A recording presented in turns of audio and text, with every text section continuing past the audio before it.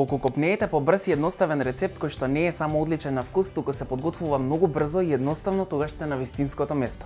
Денеска со вас ќе споделам одличен рецепт за торта без печење за која сум сигурен дека ќе барате парче повеќе. Во последно време сум обседнат со вкусот на кокос, па одлучив да го искористам кремот на линулада со кокос на подравка и да подготвам супер брз и едноставен десерт. Сите оние кои што на вистина го обожаваат кокосот, особено ќе им се допадне овој рецепт. Најпрво подгответе го пудингот од кокос за да имате време да се излади додека ги подготвувате другите состојки.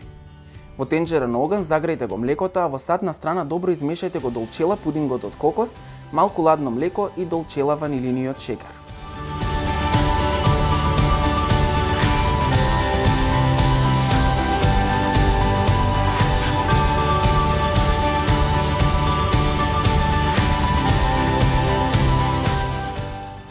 Кога млекото ќе дојде до точка пред вриење, дојдете ја смесате и константно мешајте со жица за матење.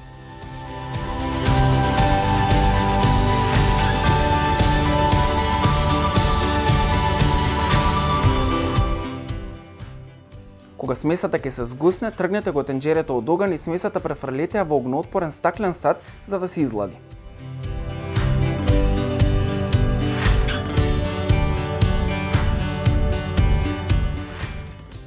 Горниот дел на пудингот покрите го со хартија за свежа храна за да го избегнете формирањето на кора на самиот пудинг.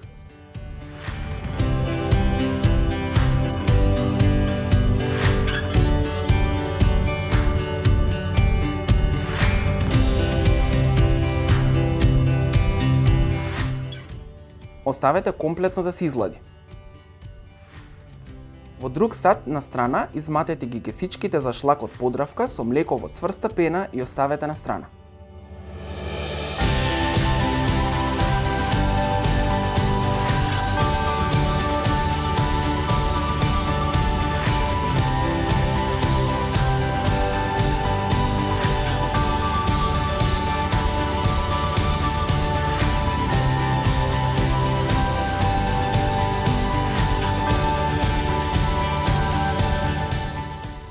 Кремот лино лада кокос ставете го на топло место за да стане течен, а потоа префрлете го во изладениот пудинг од кокос. Изматете го пудингот и кремот со кокос со помош на миксер. Матејќи со миксер на ниска брзина додавајте од изматената шлак пена додека не добиете изедначен филм.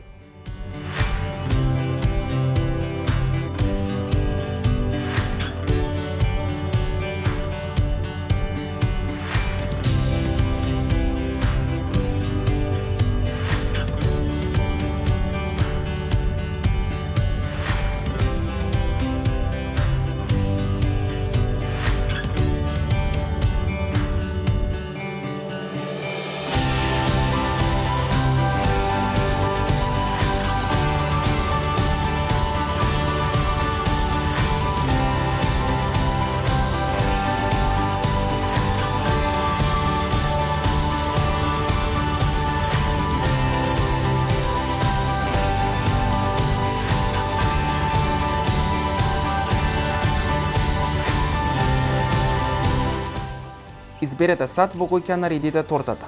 Јас користам сад број 26. Бисквитите потопете ги во млеко и наредете еден ред во садот.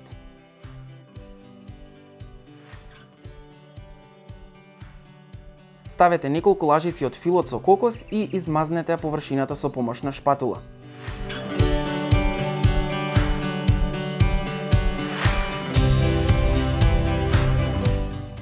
Повторно наредете ред со потопените бисквити во млеко, повторно фил и постапката повторете ја додека не ги потрошите бисквитите и филот.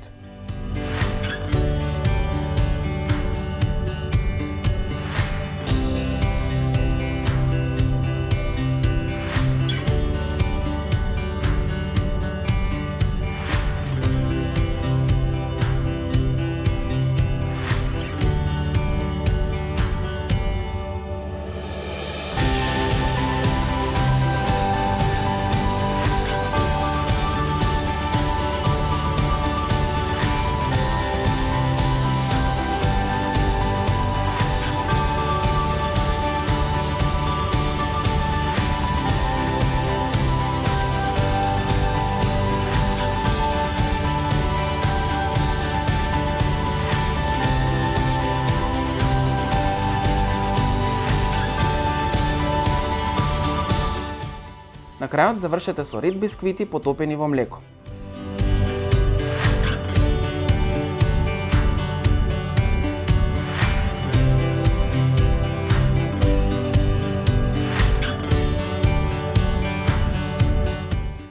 Изматете ја кесичката шлак пена со вкус на ванила од подравка со млеко и декорирајте ја целата торта.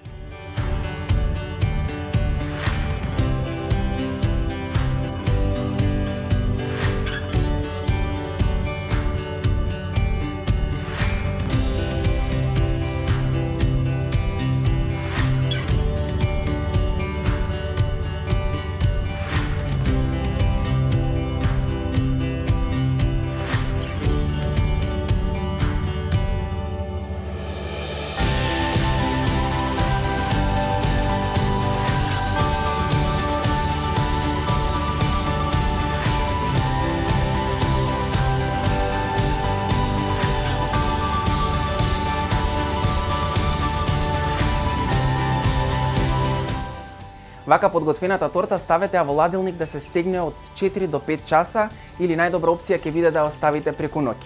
Доколку се брзате и сакате да ја сервирате оваа торта што поскоро, тогаш ставете ја во замрзнувач околу 40 до 50 минути.